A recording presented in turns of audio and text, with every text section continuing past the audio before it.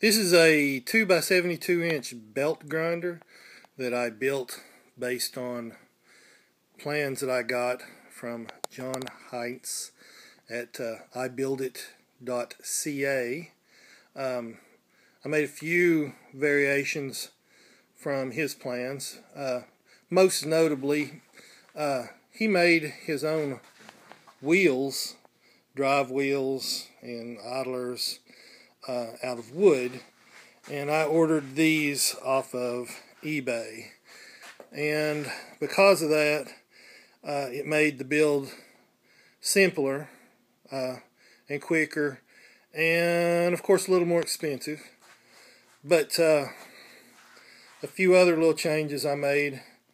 You can see uh, the, the the the idlers that I bought had their own bearings in them and so I was able to use just plain half inch carriage bolts uh, for axles on them and also John used a plain piece of uh, rod for the drive axle and uh, I got one that had a keyway in it so I wouldn't have to uh, uh, improvise that.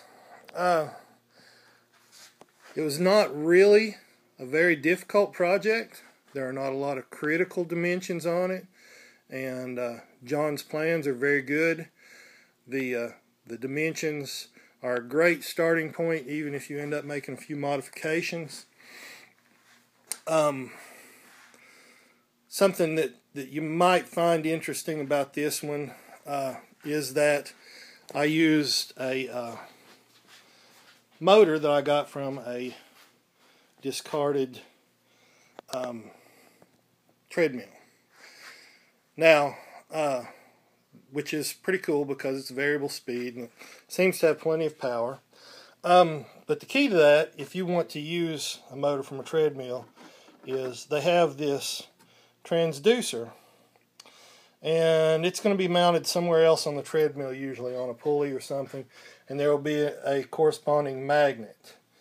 So the electronics won't uh, without without using the transducer uh, the motor will start and run for a few seconds and, and shut down. But it doesn't have to be at the same drive ratio as on the treadmill for it to work. So you see I just have this attached to the flywheel on the motor and it doesn't even have to go all that close to the transducer. Um, within a quarter inch or so is plenty good. Very simple bracket that I made to do that. It's a nice quiet motor and it has this nice soft start feature so that it doesn't come on all at once when you turn it on okay However, then you have to crank the speed up by hitting the uh, the up button many times to get it going. But like I say, it seems to work pretty good so far. Um, the tracking is something that, that everything's not perfectly centered, but it's pretty good uh, when you're using the grinder, or so far, I have to keep messing with the tracking a little bit to keep it where I want it. And I suspect that even on commercial machines, that's probably something of an issue because as the belt warms up and uh, expands and contracts and clearances change, the tracking is going to change, but it's not a big deal. You can see uh, there's a knife blank that I worked on just to try it out yesterday when I first got it going. And there are a few details I'll still uh, want to take care of, some knobs and handles and uh, a few alignment issues. And right now it's just uh, clamped to my bench top. And uh, it's a pretty big machine, so I don't know exactly where I'm going to put it.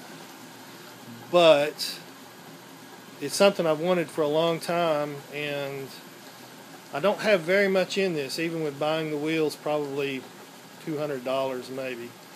And a commercial machine would be in the $1,000 price range. with a motor. So this is a good deal. Again, the plans I got from ibuildit.ca, and uh, I'll put a link in the video in the uh, in the description below if you're interested. But if you're interested in building a grinder or knife making, and you're handy, you don't have a welder and a lot of metalworking tools, but you're willing to put a little bit of time a little bit of effort, spend 20 bucks on these plans, and in a weekend you can have your very own, uh, very uh, useful uh, knife grinder, just like this.